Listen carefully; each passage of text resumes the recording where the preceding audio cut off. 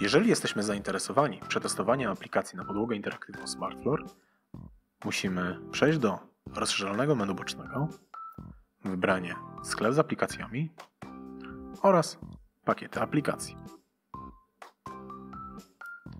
Po przejściu znajdujemy się na naszej stronie sklepowej. Możemy przejrzeć wszystkie dostępne pakiety na naszą podłogę.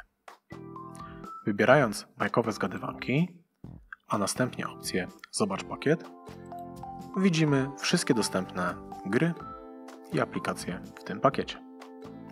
Po wybraniu bajkowej łamigłówki mam możliwość przeczytania opisu danej aplikacji wraz z opcją Wypróbuj demo. Aby przetestować aplikację, należy posiadać konto MotionCube. Po zalogowaniu się i pobraniu wersji demo pojawia ona nam się w naszej bibliotece.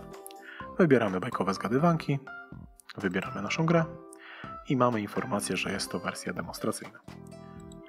Wybieramy na przykład jednego gracza i w tej chwili możemy się pobawić, aby zobaczyć, czy jesteśmy zainteresowani zakupem.